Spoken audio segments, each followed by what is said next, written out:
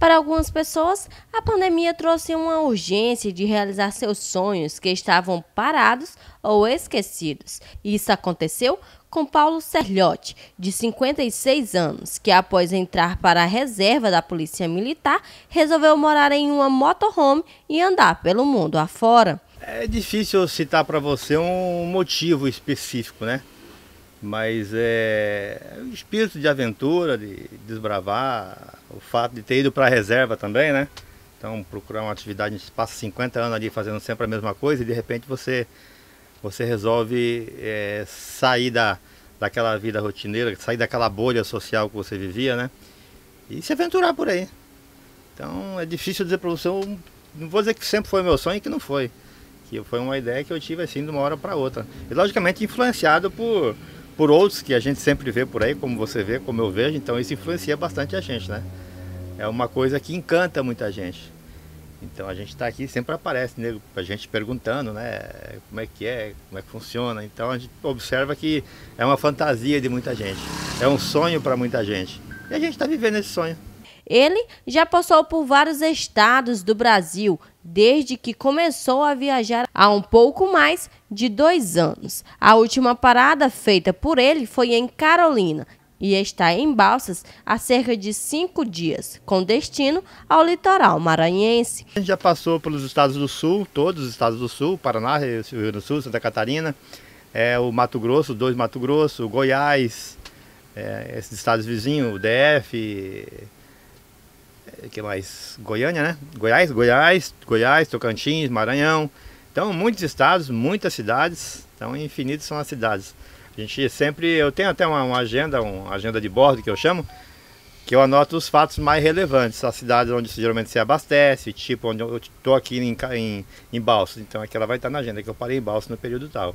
Mas tem cidade que você passa uma noite só, passa duas. A motorhome é bem ampla, com quarto de casal, duas camas de solteiro, banheiros, cozinha, além de aparelhos de TV, som e internet, que são mantidos através de placas solares.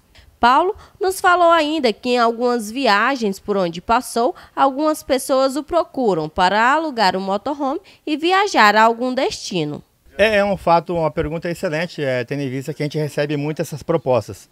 Tem muitas pessoas que gostam da fantasia de ter um motorhome, mas têm medo de investir. Então elas sempre, isso é até normal em grandes centros, lá para o sul, eles fazem isso, alugar por um período para ver como é que é, para testar, para ver se se adapta à vida. Embora não seja o meu negócio, mas o meu está à disposição para isso. Quem quer visitar não paga nada, pode vir visitar aqui, a gente vai receber muito bem. Está aberto a visitas.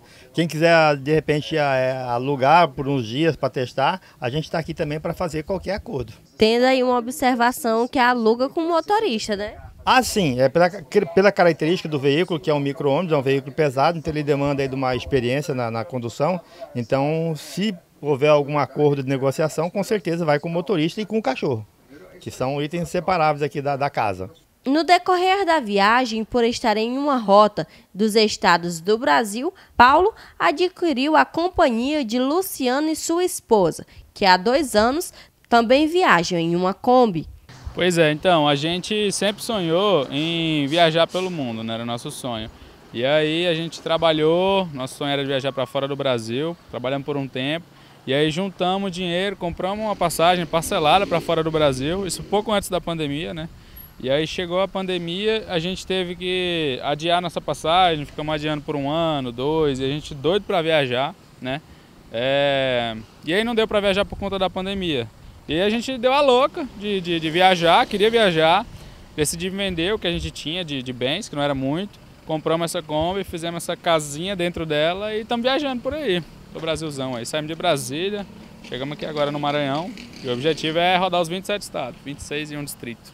Segundo eles, além de conhecer as paisagens, a melhor parte deste estilo de vida é fazer amigos pelo mundo afora. É, porque tipo assim, a gente que viaja, né, a gente que tem esse estilo de vida assim, a gente é bem unido, sabe? A gente quando a gente chega numa cidade, é, quando a gente vê um, sei lá, um motorhome, uma, uma, uma Kombi uma van, a gente geralmente se encontra e, e se junta e divide a comida. E, e, aí a gente se encontrou, né, o Paulo, e estamos seguindo. A, a gente está fazendo uma rota basicamente que é a mesma, né? A gente quer rodar o Brasil inteiro e a nossa rota é quase a mesma, então já tem um tempo que a gente está junto aí.